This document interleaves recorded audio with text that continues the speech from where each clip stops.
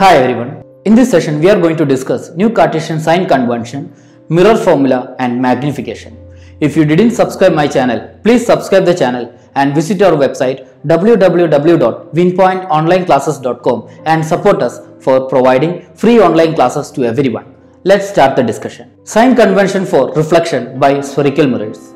It is also known as new Cartesian sign convention. When we are dealing with a numerical, this, this topic is very important. You need to know all the convention done by new Cartesian to solve a problem. So let's discuss the new Cartesian sign convention now. If you know this new Cartesian sign convention, then all the problems of this chapter will be very easy for you. Here you can see a concave mirror. It is a concave mirror, right? And the first rule state that the object is always placed to the left of the mirror. This implies that the light from the object falls on the mirror from the left hand side. When I am talking about left, you need to think about your left. Okay, this is the left side of the mirror, right? This is the left side of the mirror. There is an object. The position of the object will be always at the left side of the mirror. This side, we are always placing the object at this side. Then the light ray will be traveling from left to right. Here it is a path of light ray. It will be traveling from left to right. All distances parallel to the principal axis are measured from the pole of the mirror. Here you can see the pole of the mirror. It is a pole, right? It is a center of reflecting surface. When we are measuring a distance, we need to start from pole. That's a rule.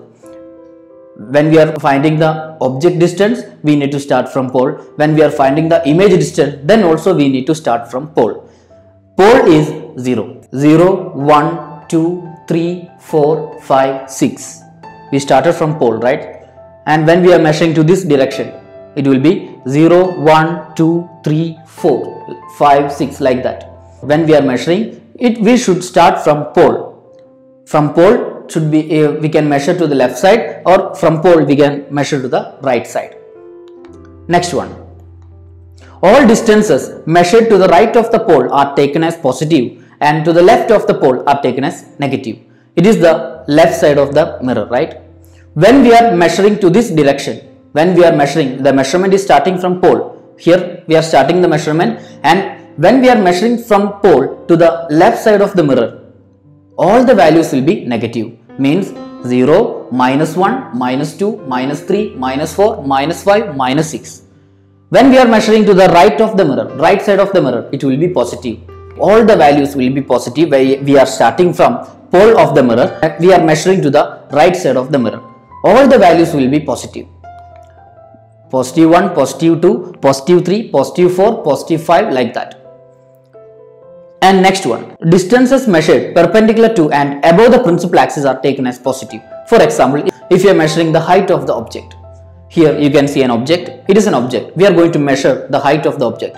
The height, the object is perpendicular to the principal axis, right? The object is perpendicular to the principal axis and when we are measuring the height, we need to start from the bottom. When we are measuring, when we are measuring to the upward direction, it will be positive.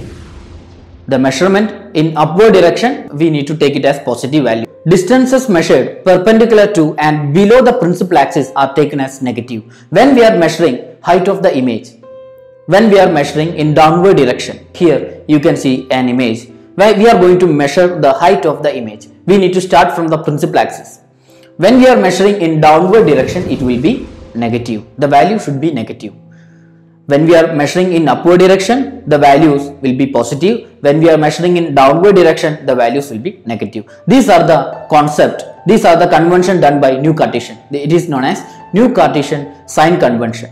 Next topic is mirror formula. Mirror formula is very important to solve numerical. You need to learn this formula. The formula is 1 by u plus 1 by v equal to 1 by f. u is object distance. It is a distance between pole and object. V is image distance. It is the distance between pole and image. F is focal length. Focal length is the distance between pole and principal focus. Next one is magnification. Magnification is ratio of height of the image to height of the object. We are considering an example. The height of image is 6 cm. Height of object is 2 cm. The magnification will be 6 by 2 equal to 3. Height of image is 0.5 cm. Height of object is 2 centimeter, the magnification will be 0.5 by 2 equal to 0.25. For magnification, there is no unit. Magnification is the ratio of height of the image to height of the object. The equation will be m equal to h dash by h. h dash is height of the image, h is height of the object.